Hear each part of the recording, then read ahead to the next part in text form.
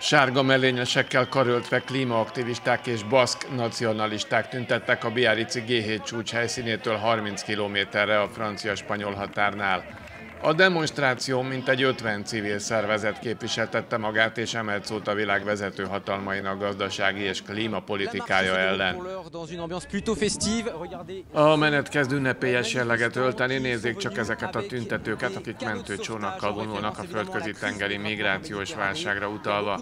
Elhangzanak más környezettel kapcsolatos követelések is, például az Amazonas medence humanitárius és ökológiai katasztrófájával kapcsolatban, mondja az Euronews helyszín helyszíni tudósítója.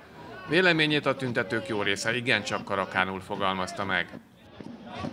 Elpusztítjuk a bolygónkat, amit ezek a gyerekek szenvednek meg, ezért minden szülőnek, aki szereti a gyerekét, itt kellene lennie tüntetni, mondja ez a lányával érkező ír tüntető.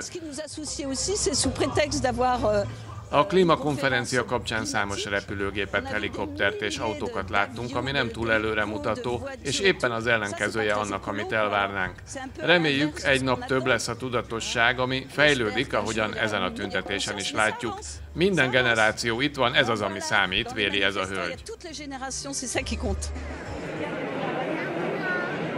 A demonstráció jelentős rendbontás nem történt. Elégedetlenségét néhány tüntető úgy fejezte ki, hogy a G7 csúcs résztvevőinek többek közt Emmanuel Macron francia elnöknek és Angela Merkel német kancellárnak a maszkjával strandolt, ezzel is jelezve, hogy a világ vezető politikusai nem azt teszik, amit mondanak, illetve megfelelő tettek hiányában egyre mélyül a szegények és gazdagok közötti különbség.